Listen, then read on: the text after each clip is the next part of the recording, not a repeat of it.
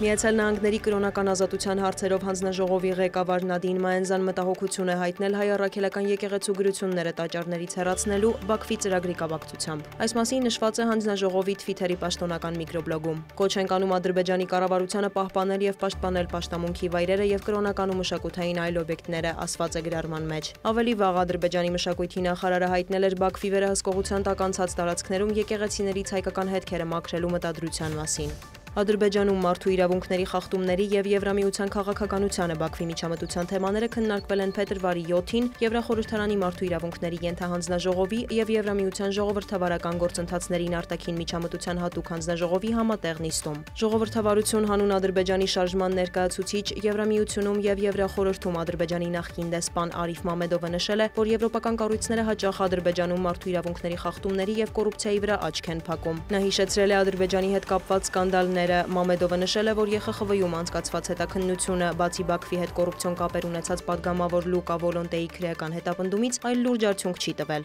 Հանդիպմանն անդրադարձ է եղել նաև Եվրամիություն-Ադրբեջան հարաբերություններին, Արևելյան գործընկերությանն Ադրբեջանի անդամակցության տրամաբանությանը եւ պաշտոնական Բաքվի վրա ճնշում գործադրելու հնարավոր միջոցներին։ Լսումների մասնակիցները կոչ են արել Եվրամիությանը 2 միլիարդ եվրոյի չափով օգնություն չհատկացնել Ադրբեջանին ֆինանսական միջոցների օգտագործման թափանցիկության բացակայության պատճառով։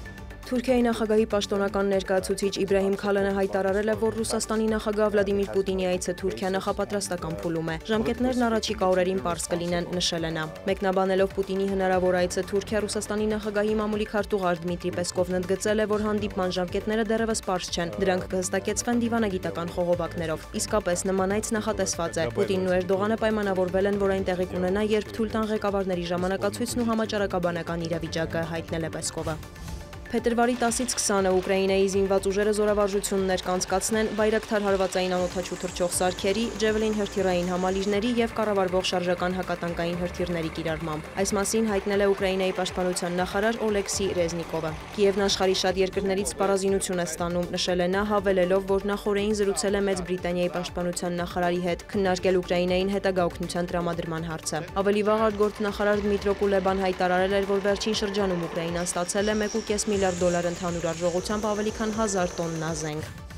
Միացյալ Նահանգների ֆինանսների նախարարության եւ պետքարտուղարության պատվիրակությունը մեկնելու է Եվրոպա քննարկելու Ռուսաստանի դեմ հնարավոր պատժամիջոցների տեխնիկական համակարգումը Ուկրաինայի շուրջ իրավիճակի սրման դեպքում։ Այս մասին հայտարարել է Միացյալ Նահանգների արտաքին քաղաքական գերատեսչության մամուլի ծառայության ղեկավար Նեդ Փրայսը։ Ավելի վաղ Reuters գործակալությունը վկայակոչելով իր աղբյուրը հայտնել էր, որ Միացյալ Նահանգների վարչակազմի բարձրաստիճան ներկայացուցիչների պատվիրակությունը կայցելի Մեծ Բրիտանիա, Ֆրանսիա, Բելգիա եւ Գերմանիա։ Ռուսաստանի փոխարտգործնախարար Ալեքսանդր Պանկինն էլ նշել է, որ Ռուսաստանի դեմ կոշտ պատժամիջոցների բացասական հետևանքներն արևմուտքում դրանք նախաձեռնողների համար կլինեն անխուսափելի։ Դիանա Գասպարյան, լուրեր։